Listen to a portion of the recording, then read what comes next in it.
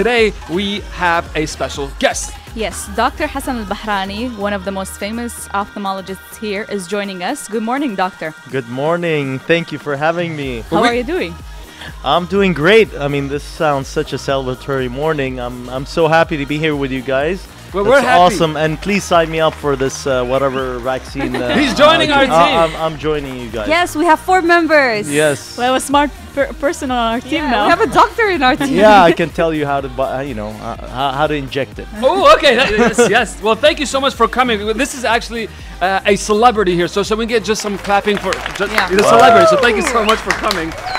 Thank you very much for having me. Doc, um, you know, we have so many things we're gonna uh, talk to you about uh, medically, non medically, ILY, not ILY. But first, let's get to know you. Yes. Uh, you are a very well known figure in the medical world of Iraq. So just tell us, for those that don't know you, who are you and where did you come from? All right. So thank you again, and good morning to everybody. Um, I uh, I was born in Baghdad, and then uh, around t- 12, 13 years old, I uh, left uh, Baghdad to in, uh, to Jordan, and then from there I finished my high school, and then I went moved to ba- to the U.S. And there I finished my uh, early, you know, undergraduate degree, where I did actually both uh, degrees in pharmacy and, and medicine, and then I continued on to studying ophthalmology at University of Kansas, and then I moved to Harvard, where I did my fellowship, which is the subspecialty training at Harvard. Wait, wait, wait. let's- let's- Did, did he just say? Did he just say Harvard casually like that? Yeah. Oh my God! As if he said nothing. Can like, we I get some? Can we get some gunshots right here? Oh my God. Look That's at that! crazy. Yeah, so that that was pretty amazing, and uh, living in Boston, uh, that was pretty awesome uh, with my wife, and then uh, I moved uh, to Washington D.C. area, Virginia, and I practiced there for a few years, and then you know I've been away for from uh, away from home in the Middle East for a long time. My dad and mom said you you need to come back. So while I was uh, and you know taking my summer vacation in Jordan, uh, you know, my brother was doing some business in Erbil and said, "Hey, you know, why don't you come here and visit?" So I came to Erbil and I was like, "Really? You know, I, I like this. It's pretty happening. Know, after 6 p.m. in the U.S., uh, you know, it's pretty much dead after six. So I, I actually love that that people are out and about." And uh, you know, I thought this is a, a really a great place maybe to establish uh, my practice.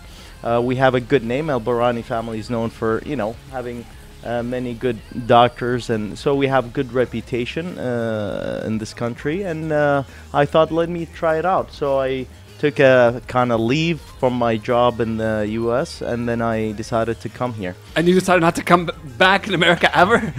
when did you make that move? What year was that? Uh, 2011. so for nine years now, Yeah. you've been building your eye center. Yes, yes. So I actually the American Eye Center uh, established in 2014 by my dad, and uh, he really supported me with that. And I'm the medical director of the American Eye Retina Center, and uh, I thought I'd bring some uh, American medicine uh, to the uh, you know to Kurdistan to Iraq, and I thought there's a great need for such a care. And uh, my motto and the American Eye Center motto is trust and excellence in eye care. Well, I I can vouch for that because I had two surgeries done at the American Eye and Retina Center. That's how I knew about you actually. Yeah. Um, I got it done. I had some problems with my cornea. I got uh, C- um, corneal cross-linking, and then I got. Um, well, what is it called? Toric ICL. Toric two, ICL. Two months ago, and my vision has never been better. Like now, I can see everything, and I never thought awesome. that's that's possible. So um, when I was, you know, there, there's they have screens in the American Eye and Yes. Center. You were on the TV uh, screens explaining everything, and I was like, this doctor, um, he he's very charismatic and he looks to be very smart. So let, let we tried to get a hold of you, and then you're finally here joining us and talking about all these uh, impressive records that you have. Thank you, thank you very much. No, I'm really happy. Uh, you know, I wanted to make sure that we not only provide uh, excellent care, but uh, trust care. You know that people can trust. Uh, good also service, uh, customer service, and all that. We, we try our best to do that, and um, I think we have succeeded. I think we're I think one of the most well-known centers in Iraq. So I'm, I'm really happy. Thank you so much for saving like a third of Babylon FM right there. Uh, you know, if, if her eyes would have gone, We would have suffered a lot. So thank you so much. So that, that the awesome thing is I didn't know about that she came to the center, so there was no VIP treatment. I- of that. I put a Babylon FM sticker on her forehead before she went there, but then she removed it. She was too embarrassed. She was, you know, I was like, no, what is this? You know. But anyways, um, you have established your name uh, pretty pretty bigly, shall we say, because uh, you're you have more followers than us on Instagram. That's how big you that- are. that- how does it feel like? How does it feel like to be bigger than a radio station who's been trying to establish itself for eight years now? Well, no, I, th- I think you guys uh, should be, uh, you know, should be even. Uh, I mean, I don't know how many followers do you guys have. Listen, just tag us a little. Come on. okay, I'll follow you. The- my my Smurfs better add you. Yes. All my Smurfs. Okay, hold on. What's the deal with the Smurfs? Because uh, Wait, hold a second. He's, does, does he have like fans and they, they have a nickname like yeah. like uh, Yeah. the Believers of Justin Bieber? yes, Really? I got Smurfs. oh, he calls them Smurfs. So what's what's up with that? Why do you call your listener, your fans Smurfs? So one day, what I, you know, I was sitting with my wife and uh, and sister, and it was like, you know, why don't you do this? Uh, you know, I was trying to get into social media and uh, and the Snap and Instagram, so I thought like. Why, why don't you uh, why, why did you call it? Because I was always into Gargamel and Smurfs. I was always into Gargamel and Smurfs so I thought um, you know why not try that try that out and then first morning I said hello good morning Smurfs and then you know it started like that and now I'm Gargamel and all the followers are Smurfs if you guys just listening to us, this is Dr. Hasan from the American Eye and Retina Center in the city of Erbil. No, not somewhere abroad. Right here, we have professional uh, eye care, and I cannot exp- like exp- explain how important it is what what you guys are doing, Doc, because this is hundreds and thousands of people having access in their city and in their country professional like high advanced uh, eye care and, and eye surgery when before the, the, the, the way it was was if you wanted to save your eyes you would have to travel to another country. You have to travel to jordan to turkey to iran. Now we have the american eye center to provide that service. Do you feel you know how big of an impact you are in the city and in the country? Do you notice it? Have you have you gotten a chance to step back and, and realize that Yes, actually, I do. Um, I mean, I do that, and do, I do see that on a daily basis, and that's actually what keeps me going. It's not easy to work here. It's uh, it's tough. Uh, I mean, it's very important uh, to make sure that you're always uh, keeping up with what's going on. But uh, I really feel that we're doing a great impact on people's life. And uh, I mean, if it wasn't for that, I probably wouldn't stay here anymore. I mean, there's always challenges working in Iraq and I think when you see that your fruits um, kind of Just a t- just a quick on that because I want to. There's so many different questions I want to ask you. One is we have a lot of medical students listening to us right now. We have a lot of doctors listening to us right now. All of them are not really happy, and if they had a wish, they would love to go right away abroad and practice abroad. They're like, you know, screw this, forget this, let me practice abroad. You have that option. You can go and practice in the in anywhere you want in America. Yet you are decided to invest your life here. How do you convince other medical, uh, you know, professions, professionals listening right now to invest their expertise and their career here instead of abroad? What What are the words you will say? Well, I mean, it has to be all with your the beginning of your intentions of why you you got into medical school. I mean, in the U.S., they screen people for that. Uh, when I got into medical school at University of Texas in Galveston, I mean, they, they really have they want to know if you're actually into helping people, as this is what your your actual intention. So this has always been my intention, not uh, you know money and other things. So if you if you have that in mind, and if this is your goal in life, and having an impact on people's life, then then things will work out for you. Uh, I think that's most important for medical students to realize, and things will fall into place when when when you have that in in, uh, in your mind, and you actually just go and do about your business, take care of people's lives and uh, taking care of people, and then things will will work out. Dr. Hasan, you're mostly known for being an eye doctor and ophthalmologist, but you mentioned that you have a degree in pharmacy too. Yes. How, how, how does that work? You know, you have two degrees, one in ophthalmology. First of all, tell us why you chose uh, that specific field. So when I was uh, in, in the U.S., I was still a green uh, green card holder, and at that time it was really tough to get into uh, you know, medical school. So I was kind of had a plan because first in the U.S. you have to go to undergraduate degree before you go to medicine.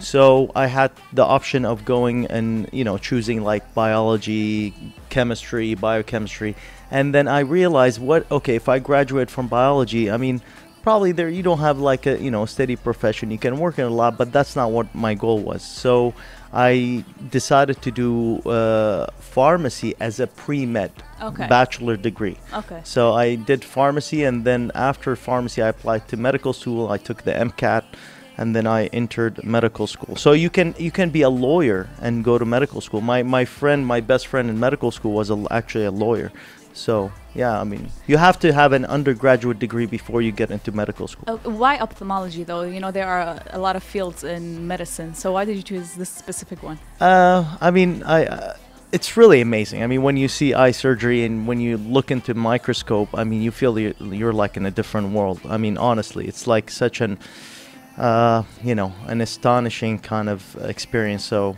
and then you know, deals with a lot of technology, and I, I actually love that. Doctor, you on your profile on Instagram, you said that you you have done over ten thousand surgeries. Yes. Oh my God, ten thousand surgeries. You have can- saved can 10,000 eyes. And speaking of, can we talk a little bit about this? You and the staff in the American Eye Center, what kind of surgeries are you guys doing there? What what, what are the different situations and cases? And because we have a lot of people listening, uh, they might know somebody that might have a specific eye problem, and, and it might be able to be uh, taken care of in the eye center or not. So let's let's talk about these surgeries. What are you guys actually doing there? We uh, we do pretty much offer all uh, all eye ophthalmology or eye care services. I mean, beginning from making glasses to doing more advanced surgeries like retina surgeries, retinal detachment surgery, cataract, glaucoma, uh, strabismus. You know, people with lazy eye and things like that. Uh, so we, we have all subspecialties uh, available. Uh, we have glaucoma service, cornea spe- uh, specialty also. So we, we we have covered pretty much everything. How many So- uh, doctors do you guys have working in the center? Uh, we have uh, five to six docs right now. So Yeah, you guys must work a lot for, in order for you to get so many surgeries done. How many hours do you work? Uh, yeah. Here comes here comes the hard part of being a doctor. The- yeah, yeah. It's not that easy. It's not like what it looks like. Sorry to make you feel Uh, bad, but no, no, I, I don't feel bad. I mean, that's my job. I, I like I like working. I mean, that's what I do for a living. So how much are we Uh, talking? about you know, at least ten hours a day. Yeah. That's a lot. Is that every day? Uh, yeah. I mean, talking about nine to ten hours, maybe twelve hours, just de- depending how how the day works. And now ho- it's less because of the coronavirus thing. How many kids you got? You got kids? Yes. So two. h- how do you balance how do you balance life, family life with the, with your career? Because it's a lot of people that are like you who even are not like doctors. You know, so, sometimes we just love our work so much that we forget Yes. about our personal life. So how do you balance it? What do you do? You're absolutely right. I mean, I try to spend the weekend uh, absolutely with my kids and my family and my wife. Uh, we, you know, take some time off to travel and uh, spend time together. Uh, not lately. Uh, but you know, I've been trying to kind of cut back over the past uh, year, I, I would say, because I think because you don't want to reach a point where you're burned out. Yeah, that's true. Doctor, when I visit the American Eye and Retina Center, there are people from all over Iraq. You know, you have some Kurdish people, some people from the south coming just to see the center and just to see the doctors that you have there. So, uh, you know, eyes are a very sensitive uh, organ. They're very sensitive organs. So, uh, have you ever like been scared of, you know, go uh, making a person go blind? Well, actually, this is. I mean, I'm I'm always dealing with uh, really, really advanced, uh, more complicated things Yeah. uh, on a daily basis because that's my job. I'm I'm not only an ophthalmologist. I'm a retina specialist, so I deal with blindness almost on a daily basis. So what do you do to tell the patients to calm and feel uh, confident? What are the words? I I you know I go about the the tell them the truth. Tell them the truth before they go into uh, any go un- undergo any procedure because that that's my job. And uh, you know the the American medicine is all about informed consent. It's all about telling the patient what to expect, what not to expect, and you know talking about the you know minor little details that people probably not talk about. So I, I I spent a lot of time discussing that with their and the family. When I first came, it wasn't you know that obvious to me, but now I take a lot of and put a lot of effort into that and make sure that every patient is is well aware of their condition, what to expect uh, following the surgeries. Well, I feel pretty confident now. I feel very confident. Doctor, what's your advice for people who have young children? Because I know you do a lot of informative videos. I see Yes. them on the screen in the center. What are what are your advices for people with kids who you know just give their kids phones to play with to distract them from crying or First whatever? of all, don't keep the knife where you you know you know how we as a culture we try to peel uh, oranges and and have all the fruits in front of us and then they keep the knife in front of them Yeah. all day long. It's right sitting there. Please take that knife out Why? because I'll give- I I see so many trauma, so many p- kids get knife uh, you know injuries and Oh and my it's God. ridiculous. I mean, I'm, I'm I mean, uh, it's really crazy.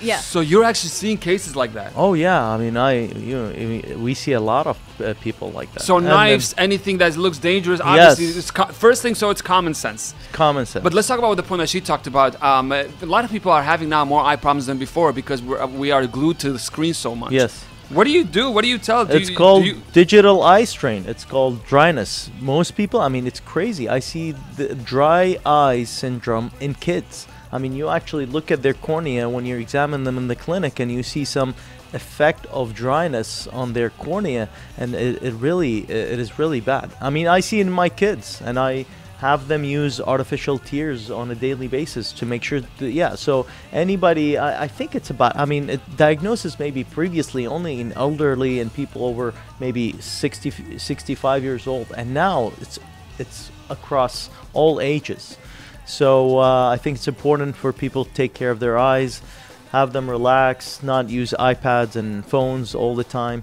And besides, you you want to raise children that can actually speak and talk and have some conversation and carry on conversation with you. You don't want like a, a robot sitting there just you know Looking at looking at screen. an iPad. So yeah, you mentioned something about uh, you use tears. Like I, I, uh, uh, uh, artificial tears. I use that every day. what is it? Is that like uh, It's a qatra. The qatra, right? yes, qatra. You you you advise people to use those. Absolutely.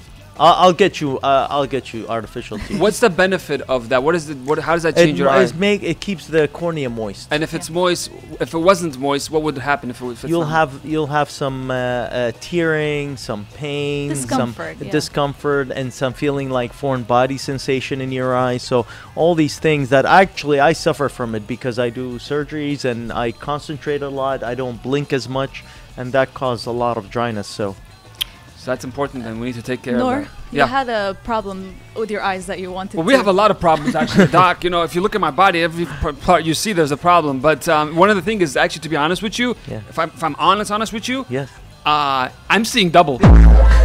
I'm not joking, Doc. So Okay. anything that's okay within, uh, uh, right here, within this distance, it becomes double for me. I can't focus on it. Is that a problem? Am I going to be double like with everything eventually? I think you're bringing your, your your your hand too close to your. so, so are you also seeing double when your hand, when your eyes like yes, this? yes. It's- Because so it's normal. Well, because you break your fusion. Well, the way we look is one, you know, 3D, and we look one thing is by having the both eyes fuse the image in the brain. Yeah. when y- there's there's a certain area where that fusion where that fusion breaks. Mm. So uh, I mean, okay, uh, we'll we'll check you after the, the Okay. show. Are you guys big seeing deal. double? Guys, can you just put your hand right here? I Can have you- brand new eyes. I don't. I don't know. What I'm you're not really about. seeing double here, but when I put it like next to my nose, Yeah. maybe. I have 2020 vision. no, we'll, we'll, we'll, check you out. Don't worry about that. Thank you so much. If you guys just joining us, we have a uh, major game player, so we call it in the medical world. This is uh, Dr. Hasan Bahrani from the American Eye Center in Erbil. Um, he has changed the lives of thousands upon thousands of people, and he is one of five, six doctors uh, working in that center. The location of that center is near the near the citadel. Is that is it yes. in? Um, yes, right? Yeah. So um, for the Ajnabis listening out there, that is that the what did they call it a symmetry or telemetry? Is it the 30 It's meter? a, se- a symmetry, uh, right uh, near Park Shanidar and Manara. Yeah. Uh-huh. At the end, at the, at the end of Computer Street. Oh, Yeah. it's that, That- big filka. Yes, it's big that where, filka. where all the streets come together. uh, Yes. wrongly. Yeah. I don't know who, how they. That's why it's called Batamaykhwa. So, because everybody's It's driving Batamai. On Batamaykhwa. God, yeah, on God we trust. in, in God we trust. On God we trust, filka. Filka. Okay, that makes sense.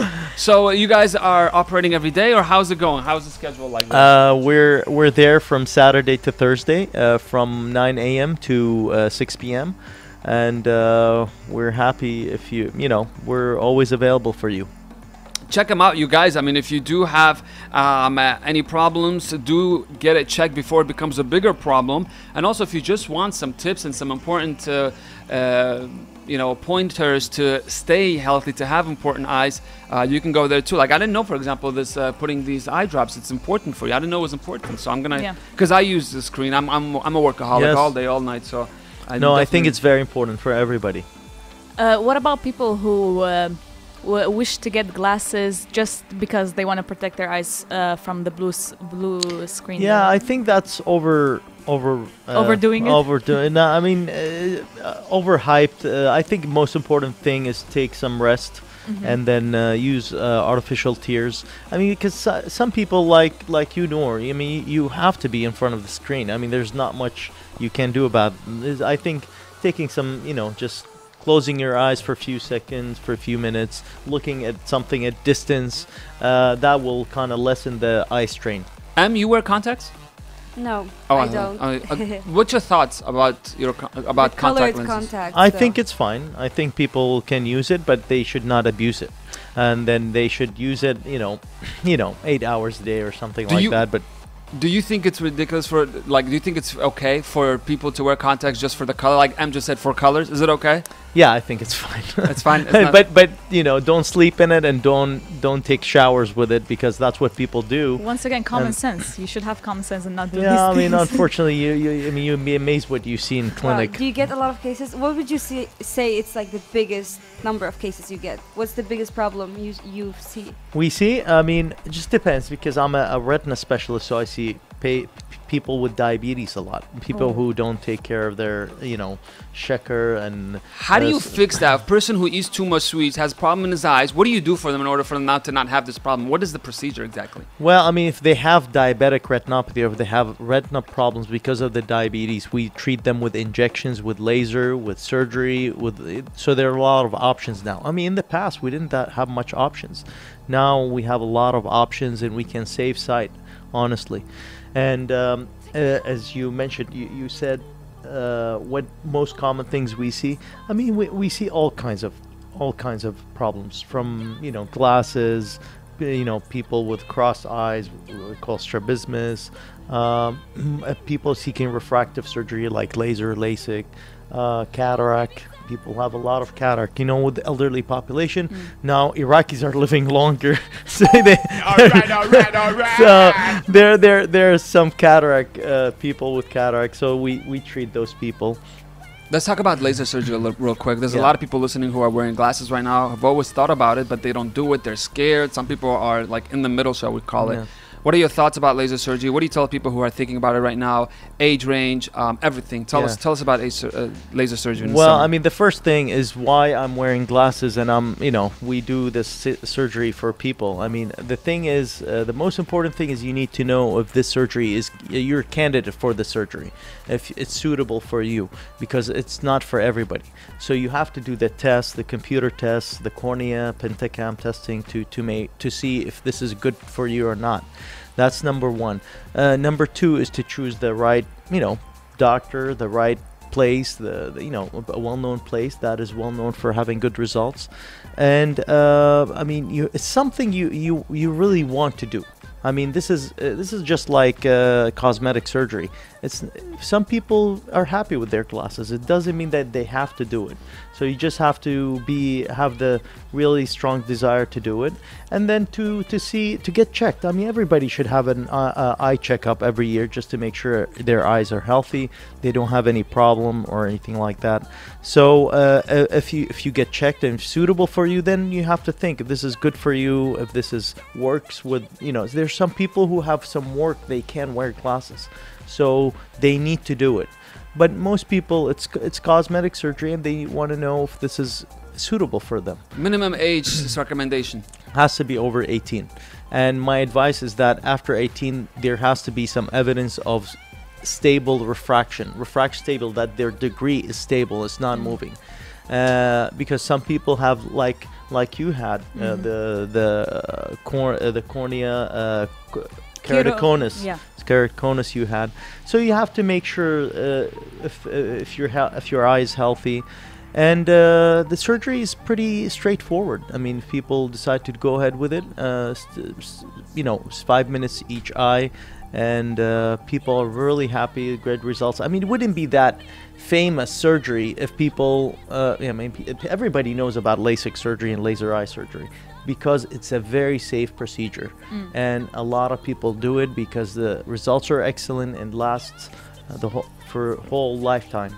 Doctor, you said that not everybody is a good candidate for uh, LASIK eye surgery, and I wasn't a good candidate because I had Yes. a very thin cornea. So the alternative for me was toric ICL, and I was very impressed to see that. Uh, because I did my research before, I had to go ahead and do the surgery because you know it's a surgery. You have to always do your research. Yes. So I was seeing videos uh, that it got approved by the FDA in America last year only, and then we have this technology here. It's very impressive uh, that you have all these uh, different technologies. I mean, this surgery that I had done, it was only being done in America in 2019, the beginning of 2019, right? Yeah. So uh, tell us a little more about toric Well- ICL. Uh, It's an alternative if you can't do LASIK, well, right? just it's a very important what you said. I mean, most people think we're in Erbil in Kurdistan and we don't have the access to this technology. No, we do. We have access to the latest technology. We do the latest thing in the world. Mm. So, uh, th- th- thanks for uh, say, saying that. And uh, for the toric ICL, that's for people who can do laser surgery. They're, th- you have to do the test, of course, like you did, and to see if you're candidate for what they call ICL. Uh, this these are uh, lenses that are implanted inside that. It's just like contact lenses instead of having it on on Whoa, the so you put like the- permanent contacts in yes, her eyes? yeah, that's what she did. yeah. Wow. And yeah, I do that. It's amazing. It's mind-boggling thing Yeah. for people. I mean, the next day they they look and be like, "Oh my god!" Yeah, that's what I did. I I, mean, I these had, people wear. I had, you know, uh, I had my eyes covered, and then the next day when I took them off, I was like, "This is a brand new world. I've never seen anything like this Yes. before." Do, are you doing that for promotional purposes, or you, do, or you, or you really need glasses? Yeah, I want to sell some eyeglasses. No, really. Are you, you, you need. no, I'm not candidate for it, unfortunately. Uh-huh. Uh, my my cornea is not thick enough, and then my the Not even this new procedure Yes, the depth of my the anterior chamber or the front of the eye is not enough to put that eye ICL. So unfortunately, I I don't I'm not suitable for both for both uh, procedures. But you know, and then on top of that, I have severe dryness because of you know I I spent a lot of time in, in surgery. So uh, on top of all that, I think, and then I look good in my glasses. So It It does- Yeah. It's a good one. Look at that. Look at that Uh, confidence. So, if you guys uh, really have any kind of eye related issues, you're in good hands. It's just so good to know that there's so much, uh, you know, great profession available in our own city and we don't have to leave the country in order for us to get that care that we need. American Eye Center, man. Check it out. Um, we'll tag you guys, of course, on Facebook, on Instagram, but you can type it right now on Google. If you just type American Eye Center, uh, by the way, you know, we, we talked about this. Google knows where you live automatically. You don't even have to write American Eye Center. Bill. Just write American Eye Center. Uh, it will come up first thing, and it's got the phone number and the address there. Uh, Dr. Hasan, let's talk Yes. about the equipment that you just talked about a little bit because Zoe said, you know, you have all these uh, uh, options now. You guys can do all this, all this different kind of surgeries and all these different services you're able to provide because of the high advanced equipment you talk, you, you guys have. Let's talk about that. How much do you have? How much, if you counted all the equipment that you have in the center, put it in a dollar sign. How much is it? um, yeah, over a million and quarter dollars. All right, all right, all right.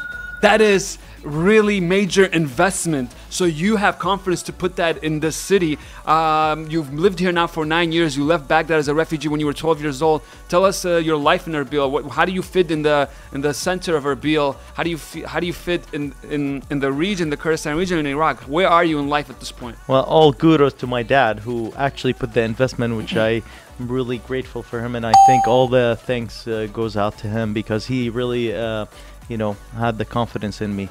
So um, yeah, I'm I'm really happy in Erbil. I mean, I think it's a great city, and most people that come here kind of surprised because they, they think you know uh, it's not uh, it's not what the city they think is uh, it is but i really uh, i love it i think it's very nice to live here it's a stable city uh, it's good for business good for investment yes we have this kind of up and down uh, just like any other cities all over I like world. that. I don't know about you, but th- this excites me. Going up, up and down, not knowing if you're gonna live or die. next- I like you, have, you have a lot to talk about every day I, I love living my life like this. Yeah. Yes. So uh, I think it's a stable city, is a very uh, safe city. I mean, that's really important. I mean, honestly, it's not about just you know having next to a skyscraper or something like that. It's that's one of the most important things. I think we we live in a safe city, and that's uh, amazing. And and then I, I I see the city grow uh, day by day. I mean. We didn't have steakhouses. We didn't have sushi places, and and then slowly, slowly, it's catering to people maybe like me and uh, people who like sophisticated things. But that's okay. That's how things start. This is how, uh, and it's nice to see that grow. I mean, city of Erbil grow. Uh, you know, as we grow. So uh, I think it's awesome, and you know, we're we're open to the world. We can travel whenever we want to, and uh, I think it's wonderful. That's true. All of that is true. So, uh, No. doctor, out of all these places that you mentioned, steakhouses, sushi, what's your favorite? Yeah. favorite? What do you like to do when you're free? oh, oh, yeah. I mean, uh, you go out on Thursdays. Uh, maybe you go out for dinner. Um, uh, I really like um, uh, uh, the grill. The grill is a good place to go. Shout uh, out, hang shout out. out to them. Yeah, and then um, uh, there's a so- oh God, me I forgot the name next to the U.S. consulate. Oh, uh, well done, bowl. well done, Ball. Uh, great. Uh, Fadi is a great guy, uh, and he's is amazing place to go. So I, I go to these places. Of course, the um, uh, there's uh, you know I do also do a lot of delivery.